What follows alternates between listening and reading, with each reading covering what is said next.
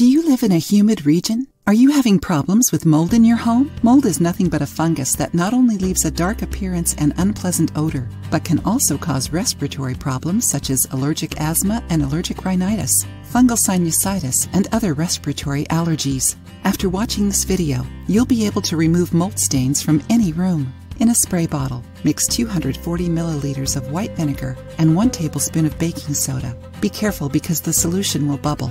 Apply it to the wall, let it sit for 10 minutes, and then remove it with a dry cloth. Repeat the process as needed. If the stain isn't completely gone, you can use hydrogen peroxide. Hydrogen peroxide is an excellent disinfectant and can help remove mold from walls. It doesn't need to be diluted. Just put the product in a spray bottle and apply it directly to the moldy wall.